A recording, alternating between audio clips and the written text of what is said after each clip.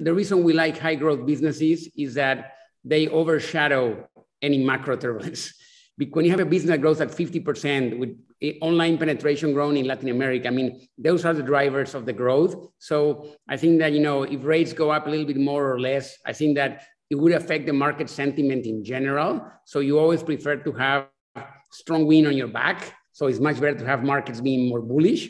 But I think that if we deliver the growth, the value will be there. So, so when we look at investments like this one, we really focus on the team, Moshe and, and his team in Israel, the, the, the team in Spain, the people in Latin America, their ability, you know, to execute on this and the growth profile. So if, if we can deliver that and we execute, we think that the value will be there.